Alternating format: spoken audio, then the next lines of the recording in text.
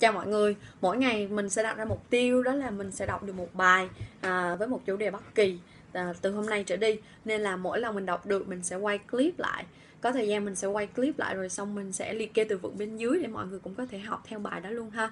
Và ai thích thì có thể nhại giọng theo cái script mà mình cung cấp cho mọi người. Ok bài hôm nay mình sẽ đọc đó là bài carnivores có nghĩa là động vật ăn thịt.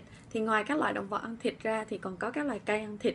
Thì ngày hôm nay mình sẽ giới thiệu hai loài cây cho mọi người thì mọi người nghe thử đó là hai loài cây nào nha Carnivores are animals that only eat meat their whole life, such as lions and tigers. Many animals in the world are carnivores.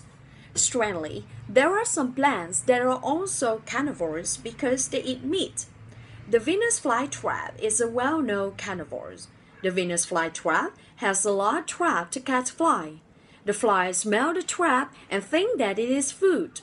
The fly lands on the area and the legs will get stuck in the plant. The Venus flytrap closes the trap and slowly eats the fly by melting it. Another carnivorous plant is the pitcher plant. The flower of this plant looks like a funny water bottle. It hangs on the end of the plant's leaves. The pitcher plant also attracts insects by smell. The bottle of the pitcher contains a powerful liquid that melts insects for food. Ants and other small insects think that there is a lot of food inside the pitcher. They try to see what is inside the pitcher. The sides of the pitcher walls are very slippery and the insects fall to the bottom of the pitcher.